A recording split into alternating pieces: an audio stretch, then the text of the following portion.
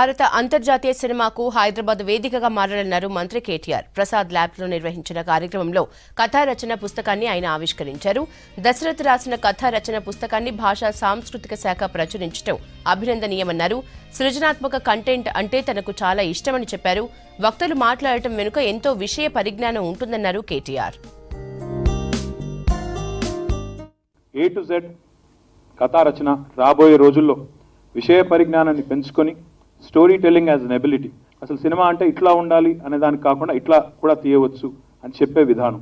So అల్టిమేట్గా అవన్నింటికి base మళ్ళీ proper scripting proper screenplay proper way of telling a story proper narration ఇదంతా కూడా ప్రేక్షకుడికి ఆయన మనసుకి హత్తుకునేటట్టు తీస్తే డెఫినెట్గా మనం విజయం సాధించవచ్చు అనే దానికి ఐ థింక్ uh, దశరథ్ గారి బుక్ తప్పకుండా ఉపయోగపడుతుందని నేను మనస్ఫూర్తిగా అనుకుంటున్నాను. ఫిల్మ్ ఫెస్టివల్ ఏదైతే ఇంటర్నేషనల్ ఫిల్మ్ ఫెస్టివల్ ఏదైతే అన్నారో I get some details from you Dasharath also and we'll ensure that Hyderabad also will host and international film festival will throw all of our energy behind it and of course మీ అందరు శక్తి కావాలి. ఎందుకంటే Nagi phone చేస్తే అమితాబ్ బచ్చన్ కూడా ఎత్తుతాడు ఇప్పుడు కాబట్టి మనం నాగిని కూడా వాడుకోవాలి అందరిని వాడుకోవాలి.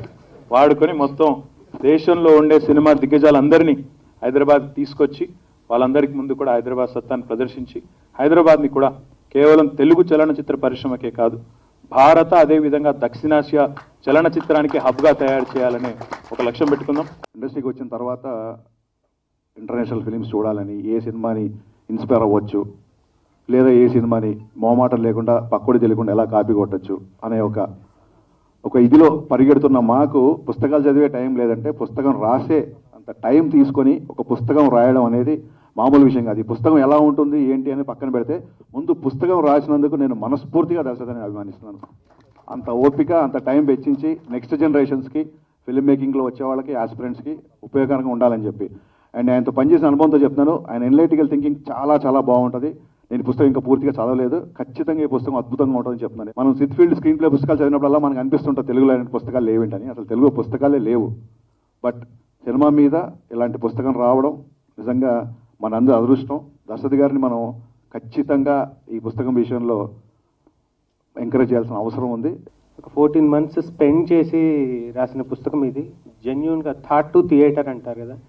నేను ఒక క్వాలిటీ థాట్ ఎత్తుక్కోవటం దగ్గర నుంచి థియేటర్కి వెళ్ళబోయే ముందు వరకు తీసుకోవాల్సిన జాగ్రత్తలు ఏంటి? ఒక మేకర్గా అనే దాన్ని డీటెయిల్గా ఇన్ జస్ట్ వన్ ఫిఫ్టీ పేజెస్లోనే రాయటం జరిగింది.